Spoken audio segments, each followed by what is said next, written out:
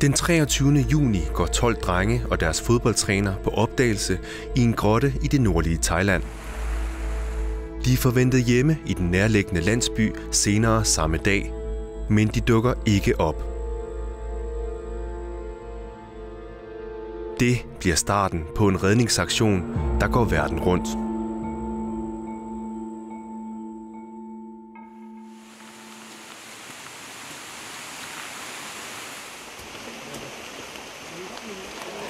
Drengenes cykler bliver fundet ved indgangen til grotten.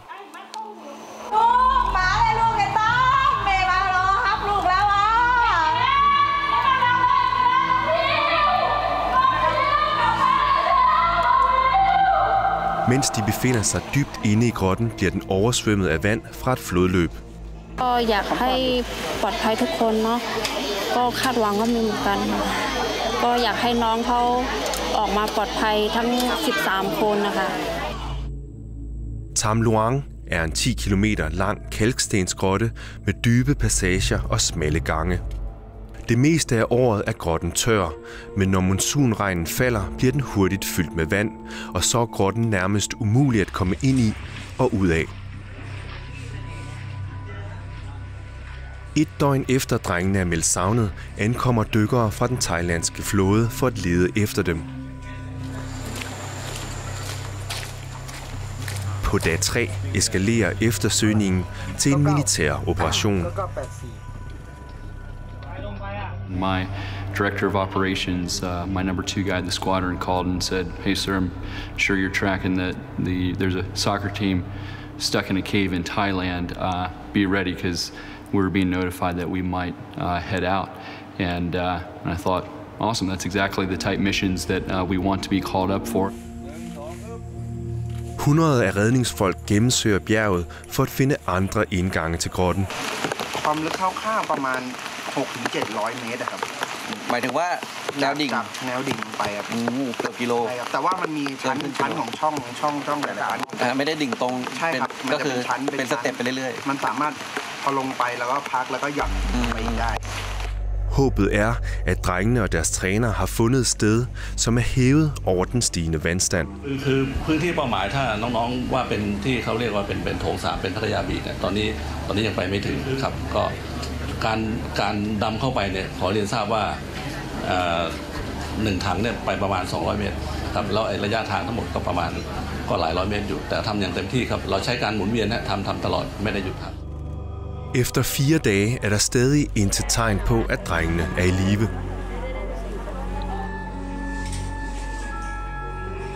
Dykkerne kan ikke komme frem i grottens labyrint af smalle passager, fyldt med mudret flodvand. Der er brug for hjælp udefra. landed at about 1 o'clock in the morning on the 28th of June, and then uh, key leadership pushed straight to the cave site. Tried to go into the cave and they, they pulled us back after about 15 minutes. So we go into the cave, and it was completely dark. And like I'm walking in thinking, like, this is so surreal. I mean, it, it's so dark. A few of us had headlamps. I did not, so I'm trying to tag along as closely as I can to some of the other members of the team. But I could just sense, like, oh my gosh, there's like 12 children and a coach in here. And I'm just in the entranceway, and I'm spooked out. I can't even imagine. Også de to britiske dykkere, Rick Stanton og John Wollaston, bliver tilkaldt. De betragtes som de bedste dykkere i verden til denne opgave, og bliver de første to, som dykker ind i grotten. Efter drengene har været i grotten i syv dage, er der endelig ophold i regnen. Dykkerholdet udnytter tiden til at bygge en base ind i grotten. Og de to britiske dykkere kan trække dybere ind. Under vandets overflade svømmer de halvanden kilometer imod en hård strøm. Og så sker miraklet, alle har håbet på. Yes, best you can. How, how many of you? 13? Brilliant. Yeah, yeah. Backpack is he go inside? No, not today. Not today. There's two of us. You have to dive. We are coming. It's okay. It's okay. Many people are coming. Many, many people. We are the first. Many people come. What, what day? Tomorrow. No, no, no. What day is it? No, asking. Oh, uh, เขาบอกไปได้ไหม Monday. Monday. Okay, but one week and Monday. You have been here ten days. Ten days. You are very strong. We need to go up. Okay, go back. We come. We come. It's behind here. I know. I know. I understand. We we come. Okay, we come.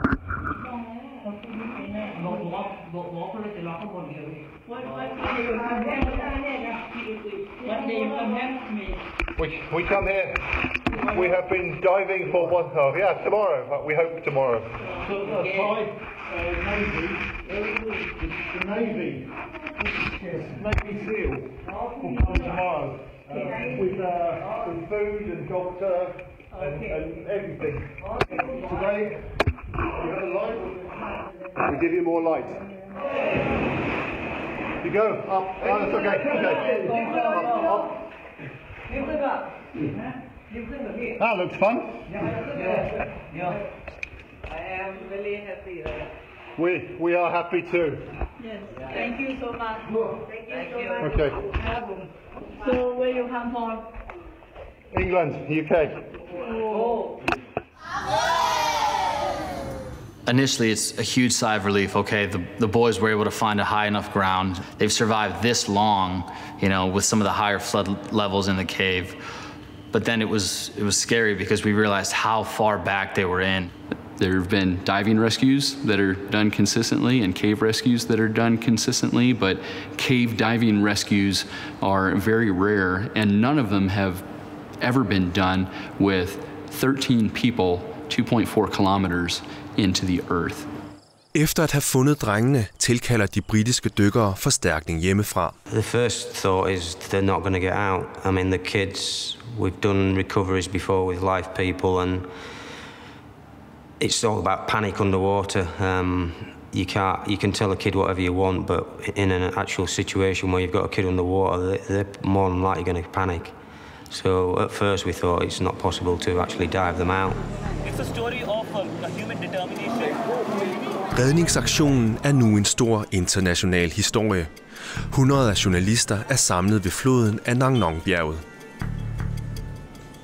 Og folk fra hele Thailand er kommet for at hjælpe med madlavning til de involverede i redningsarbejdet. Stort set alle forsyninger er doneret. Et hold fra den thailandske flådes specialstyrker og en læge arbejder sig ind til drengene med mad, drikkevand, tæpper og medicin.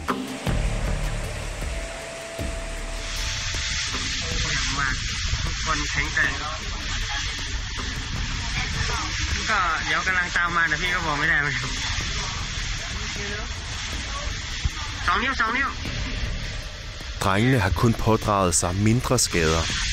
Jeg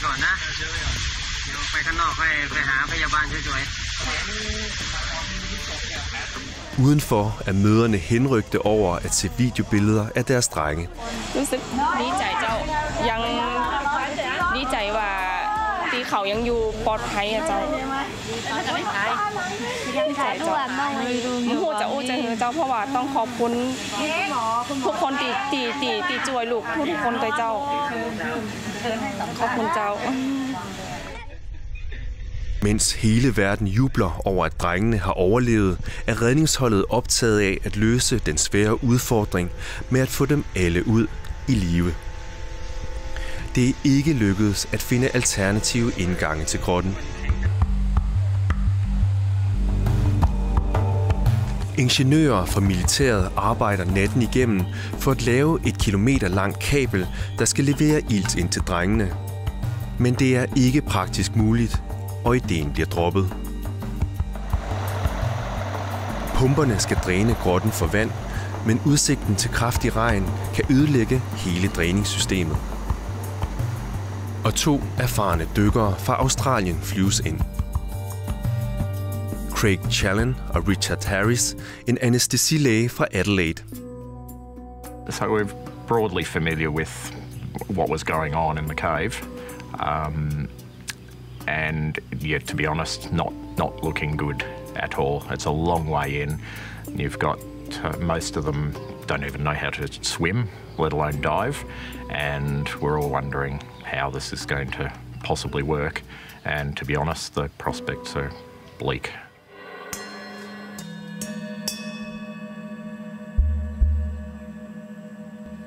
Da drengene har været savnet i 13 dage, sker der en tragedie. มที่จะบินไปเชียงรายแล้วครับ Tidligere officer i den thailandske flådes specialstyrke og erfaren dykker, Saman Gunan, havde meldt sig frivilligt til redningsarbejdet. Han har transporteret iltflasker ind til de andre dykkere i grotten. På sit dyk tilbage løb han tør for ilt i et vanskeligt sving i grotten og mistede bevidstheden og druknede. เอ่อการปฏิบัติงานมีความผิดพลาด เมื่อวานนี้พวกเราถ้าใครเห็นนะฮะ พวกเรานั่งซึมกันทั้ง ทั้งค่ายนะฮะทุกคนเราไม่เคยรู้จักเขามาก่อน เป็นพี่เป็นน้องไม่เคยรู้จัก แต่เขาเป็นหนึ่งในทีม เราเป็นหนึ่งในหมื่นกว่าคนที่เป็นทีมเราเขาเสียไปคุณสมานเสียไปเนี่ยเเขาเขามีภรรยานะฮะมีลูกเลี้ยง เราก็สงสารครอบครัวของเขานะครับ เราก็นั่งซึมกันทั้งค่ายนะฮะเพราะฉะนั้นเราต้องมาปรับบทเรียนของเรา เราพยายามเราไม่ให้มีเหตุการณ์อย่างนี้เกิดขึ้นอีก แต่ผมขออนุญาตใช้คำว่าพยายามนะฮะ we reassessed uh, the risk that we were willing to accept. And at the same time, we realized okay, this doesn't change anything. We still have 12 kids and a coach in there. We still have to, to go forward and do this. So, as tragic as that event was, and in my mind, he's absolutely a hero of the, the Thai people and of the world, um, it didn't slow us down any. We, if anything, our resolve was strengthened and like, hey, we're not going to let his loss, you know, be in vain. Thailands indrigsminister giver tilladelse til et bjergningsforsøg af drengene.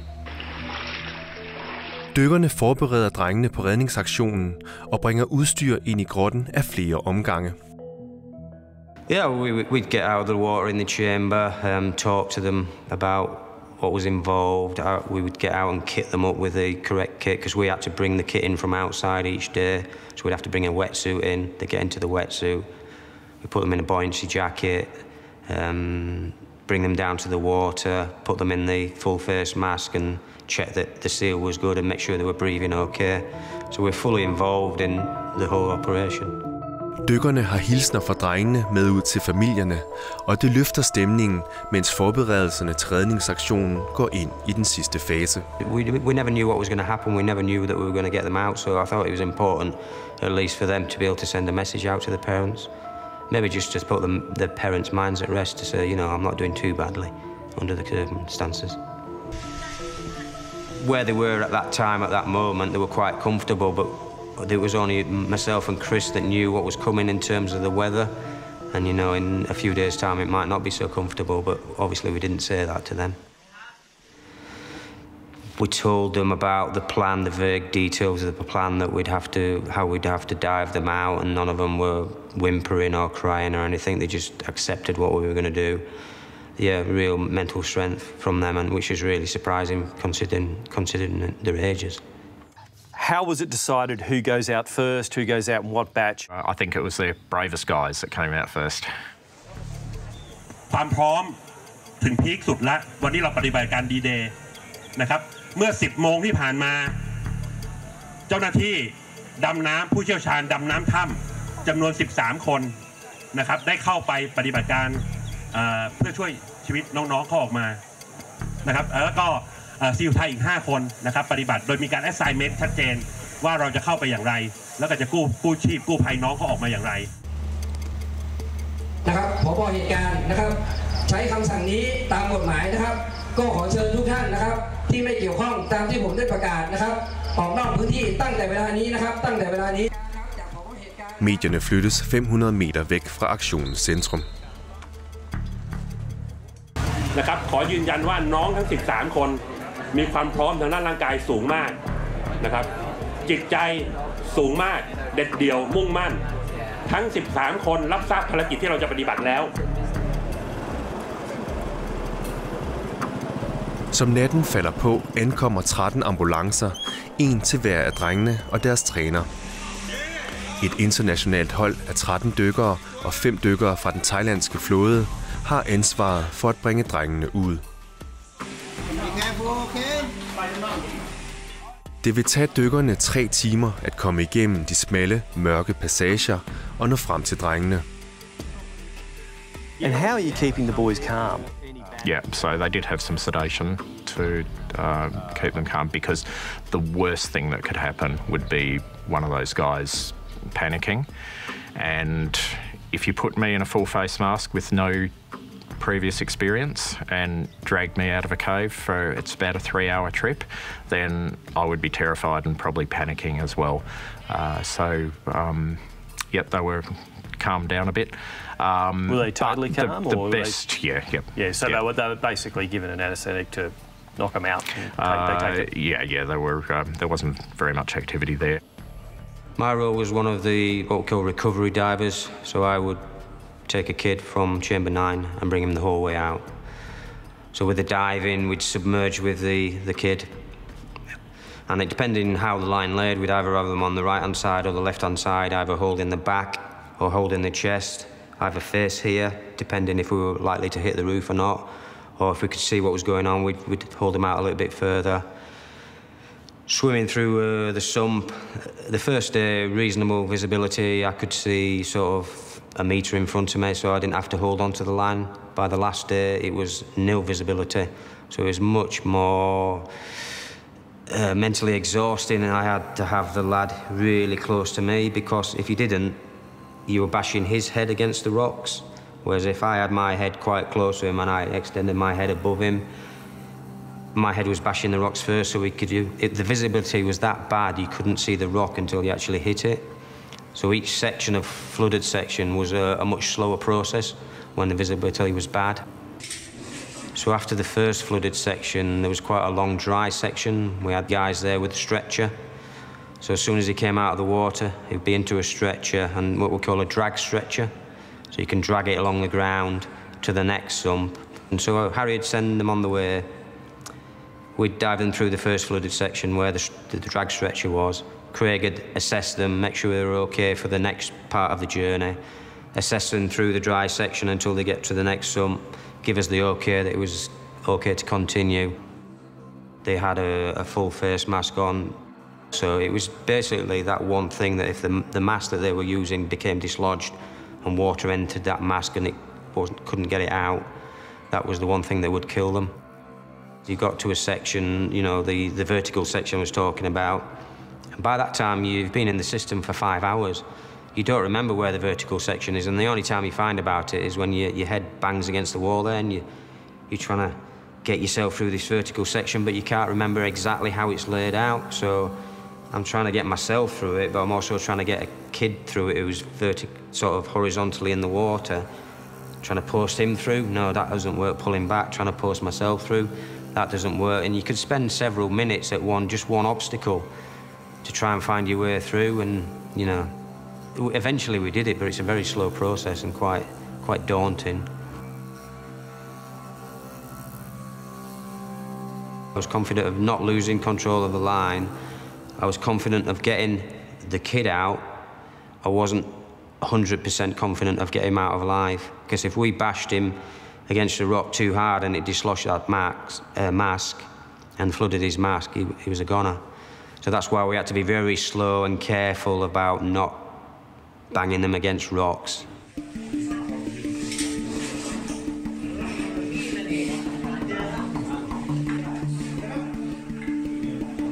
16 วันแห่งการรอคอยนะครับ วันนี้เราเห็นหน้าหมูป่าแล้วนะครับ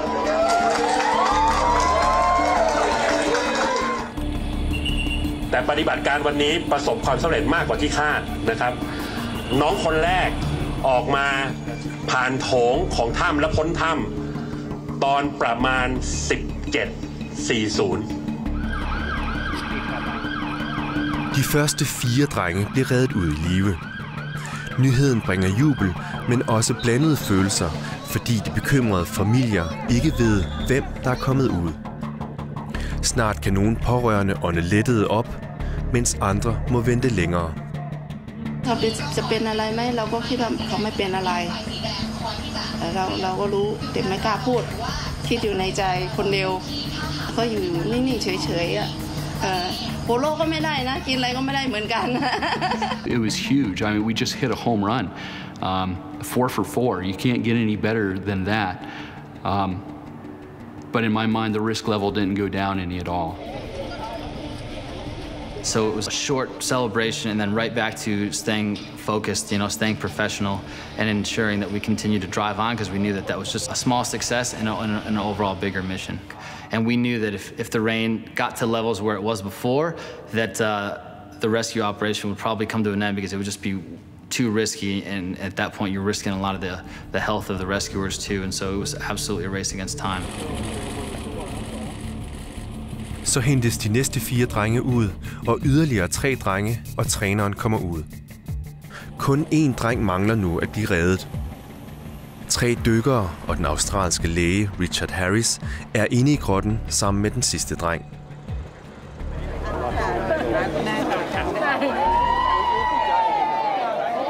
Det lykkedes at få den sidste dreng ud i live. 18 dages mareridt er over. Five out the last night. It's an amazing story. How did you feel when you finally got that last that last member of the team? Quite emotional, you know. As we were getting closer and closer to the entrance, I got quite emotional. I don't normally. It's just what we were doing was to come out. And I've got a kid myself now, so it was quite a good feeling.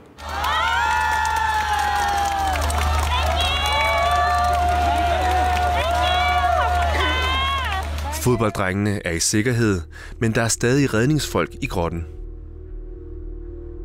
One of the pumps back at Chamber 3 failed, and we had a fair amount of guys out there uh, waiting for the last group of SEALs to come out, you know. Uh, and we got the call, hey, water levels are rising fast. Uh, that was definitely a, a spike of adrenaline towards the end of the night. in Thailand ทีมราชการ พร้อมเอกชนทีมสื่อมวลชนที่ช่วยกับเรา รวมทั้งกำลังใจของทั่วโลก เราทำในสิ่งที่ไม่มีใครคาดคิดว่าเราทำได้ เป็นครั้งแรกในโลก เป็นความภาคภูมิใจเป็นมิชชั่น possible ของทีมไทยแลนด์ที่ทำได้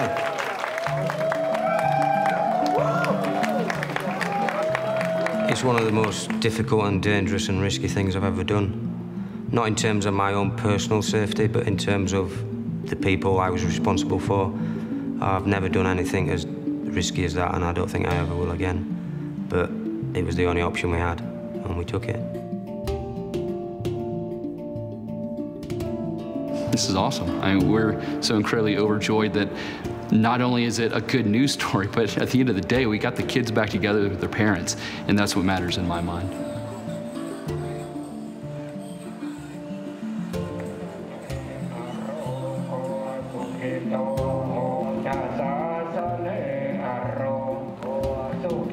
Efter et kort ophold på hospitalet gik drengene ni dage i kloster i taknemmelighed over, at de blev reddet ud af grotten.